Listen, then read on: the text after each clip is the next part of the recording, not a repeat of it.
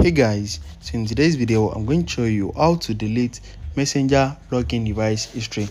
So if you want to delete all the history of all the devices you have logged in your messenger account to let me show you how to do that in this video. So the first thing you need to do is open your messenger application and you need to click on these three lines at the top left corner. Once you click on that click on this gear icon to open up your settings so once you are in your settings scroll down and you need to select see more in account center. So you are going to see it right under meta account center. So once click on see more in account center you need to click on password and security. After that click on where you are logged in. Once click on where you are logged in you need to select the one for facebook messenger. So that's it at the top.